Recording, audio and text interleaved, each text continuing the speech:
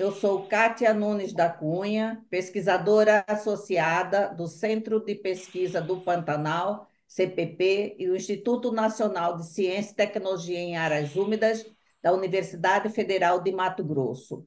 Estou aqui hoje para apresentar o material que faz parte de uma série, Sementes do Pantanal, Recuperação de Áreas Úmidas.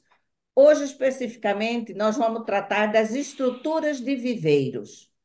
Este é um vídeo para facilitar o uso desse produto, o qual você pode baixar diretamente do Instagram ou site da nossa iniciativa Aquarela Pantanal. Os endereços estão aqui abaixo no vídeo.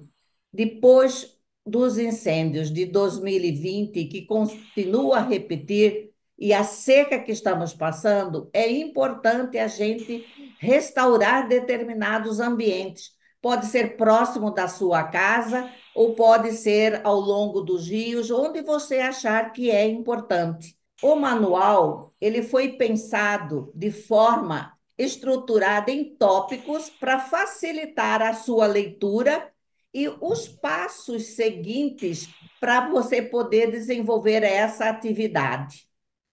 Então, nós temos, por exemplo, primeiro falando o que é um viveiro, né? O, o papel de um viveiro, ele é um berçário de plantas. Então, quando a gente traz a semente e planta, é ali que vai passar os primeiros dias de vida dessa pequena planta, até ela estar pronta para ir plantada aonde for o lugar adequado. Se você quer atender uma necessidade que vai levar dois anos, três anos, então nós podemos fazer um viveiro temporário, que inclusive pode ser até debaixo de uma árvore, né? de, de forma que essas mudinhas novas são protegidas contra inseto, galinhas, animais é, destruírem. E na sombreamento para facilitar é, a sobrevivência dela.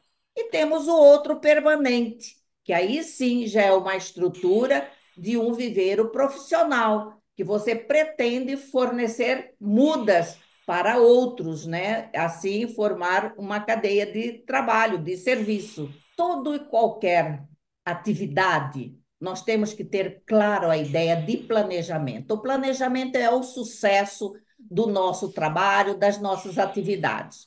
Para este viveiro, principalmente, nós temos que trabalhar naquele lugar, escolher o lugar que não seja em declive, que seja mais plano, que tenha acesso fácil para você ir com facilidade, tem que estar próximo da fonte de água, né? Então, são critérios importantes para a escolha desse lugar. Bom, alguns lugares, quando você pensa principalmente no viveiro é, mais longo prazo, você precisa fazer algumas ações. Nivelar, por exemplo, o solo dos canteiros, tem, tem também limpar sempre o chão. Você tem que fazer é, esteiras de palha para proteger da, do sol, né? Para se você fez uma estrutura é, que possa ter uma cobertura. Outra coisa importante é você pensar em que equipamentos, que materiais você precisa, como enxada, enxadão, pazinhas, é, você precisa de peneiras para peneirar o substrato, o solo que você vai trabalhar, né? E, por fim, você poder definir o tamanho, né? E se essas mudas serão comercializadas você escolhe um tipo de viveiro. Se são aquelas que só vai atender a você, então aí tem outro tipo de construção que você vai fazer de forma mais é, simples. Então, nós temos que entrar agora num outro estágio desse nosso planejamento, que serão o que nós vamos fazer, que seriam as sementeiras. Então, as sementeiras são aqueles primeiros lugares aonde nós vamos trabalhar plantando nesses saquinhos, né? Então, o que, que é necessário para esse plantio? Você é importante você ter o substrato, que pode ser uma mistura de terra de curral ou de galinheiro com terra normal ou terra preta. Isso depende de como você está pensando em trabalhar esse substrato. Lá no manual explica isso com muitos detalhes. Depois nós vamos trabalhar já, depois que já teve o plantio, nós vamos pensar então nessa produção de mudas, porque aqui tem um manejo que deve ser dado para a produção de mudas. Então, essas mudas que você fez, você tem que separá-las por, por espécie. Então, aí nós temos que ter uma etiqueta, né? Colocando os nomes das espécies daquele lote, ou em cada saquinho, ou no lote de sementes que você plantou da mesma espécie. Quando você está trabalhando é, com o manejo dessas mudas, muitas vezes uma ficou mais no sol, outra mais na sombra. Então, você precisa mover essas mudas, trocarem de lugar. Outra questão importante é você pensar com os cuidados da irrigação, da adubação, que cada espécie tem uma necessidade, que você trabalha né, na, na comunidade, na fazenda, no seu sítio, então você já vai ter ideia de que espécie dá em determinados lugares.